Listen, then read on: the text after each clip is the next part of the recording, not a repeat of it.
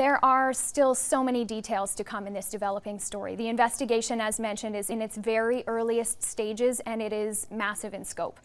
Jesse Thomas has been on the road covering this for us all day and he joins us now live from Enfield, Nova Scotia with more. Jesse, what's the latest? Hi, thanks, Sarah. Yes, I'm here uh, at the scene where the manhunt, uh, the pursuit ended here outside of the big stop in Enfield.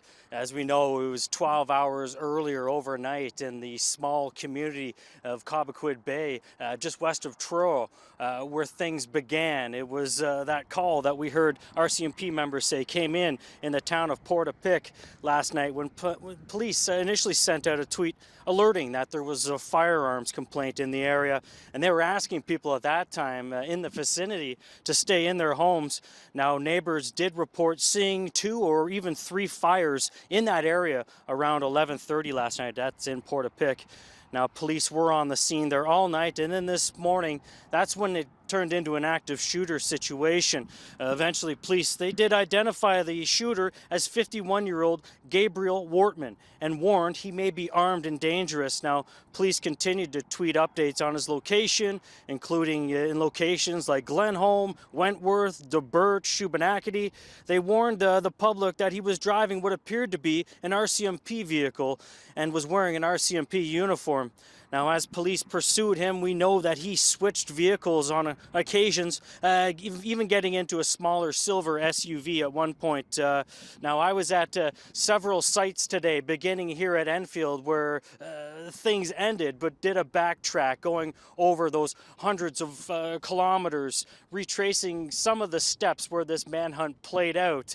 And I can tell you, um, at a scene in Debert today, the roadway was still closed. RCMP officers on standby there. There was a car in a ditch uh, on the side of the road with caution tape around it. Further up the road was another SUV on the side of the road with uh, what appeared to be a body uh, underneath a bag, and that was in Debert. From there, uh, we traveled up the highway, up uh, past Masstown, up Highway 4 into Wentworth.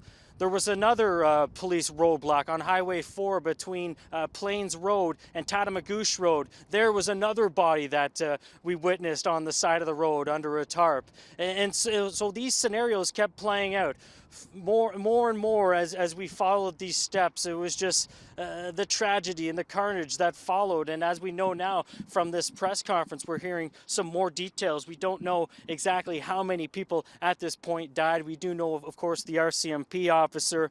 Um, but as, as, as we were following it this morning, Sarah, I will tell you that driving along Highway 102, there were many dozens of RCMP officers positioned along the way, and at one point, uh, probably 25 cruisers uh, zoomed by me, kind of in the Shubenacadie area, and uh, a police helicopter was going overhead, and so I knew we were close to the situation. As we came back here to Enfield, I saw the police uh, helicopter land just over on the side of the highway, and uh, police descended on this area. As you see behind me, the gas station uh, was all taped off, and eventually that's where another body uh, uh, lay dead.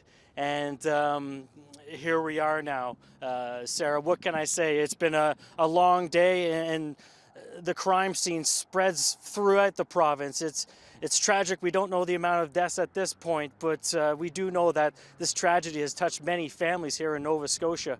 Uh, for now, uh, I'll send it back to you at the desk. Thank you so much, Jesse. That is Global's Jesse Thomas reporting live tonight from Enfield, Nova Scotia, where things ended early this morning.